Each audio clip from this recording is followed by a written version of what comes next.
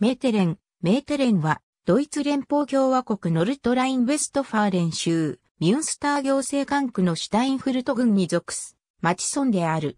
この町は、ミュンスターラント地方に位置しており、砂地の土地と湿った土地との対比が交互に現れる。町内をフェヒテ川が流れている。メテレンには、バウエルンシャフト・ネンドルフとバウエルンシャフト・ザムベルクが属している。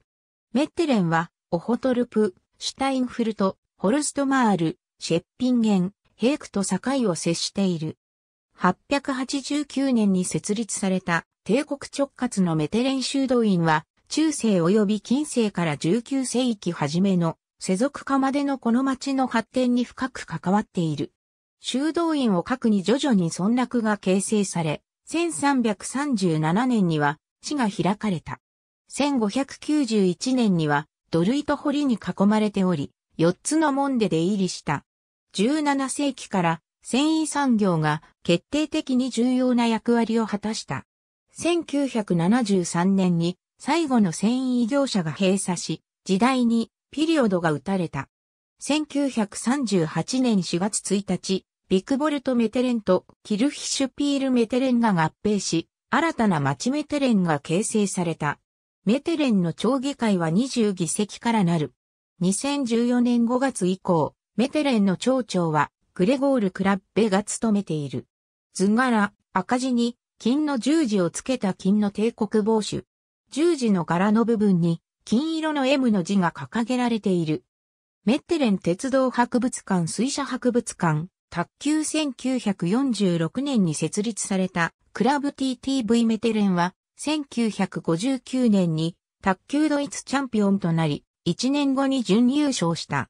TTV は1969年から1973年まで5年間卓球ブンデスリーガに参加した。1973年に降格した1年後に再度昇格したが、このクラスを維持することはできなかった。TTV メテレンは2011、2012年現在、西部ドイツ卓球連盟のフェアバンツリーガグループ4でプレーしている。極馬のリボルティギールフェラインメテレン EV には8つのチームがあり、第2チームは最高位の S クラスに位置づけられている。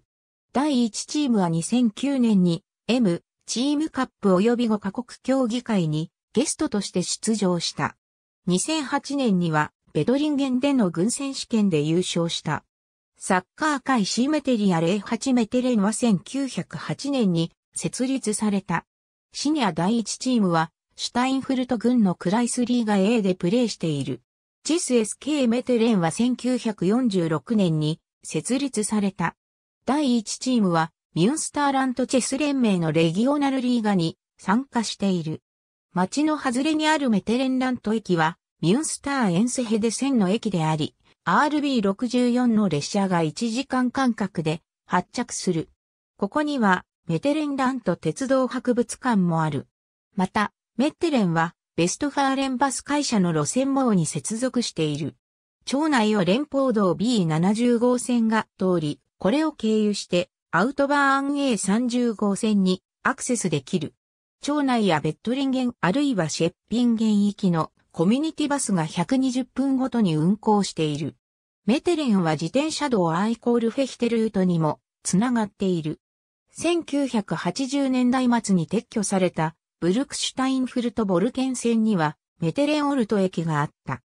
この他にメテレンは連邦道 B54 号線にも面しており、これを介してグローナウ、オホトルプ、ブルクシュタインフルト、アルテンベルゲ、ノルトバルデ、ミュンスターとつながっている。これらの文献は翻訳元であるドイツ語版の参考文献として挙げられていたものであり、日本語版作成に際し直接参照してはおりません。ありがとうございます。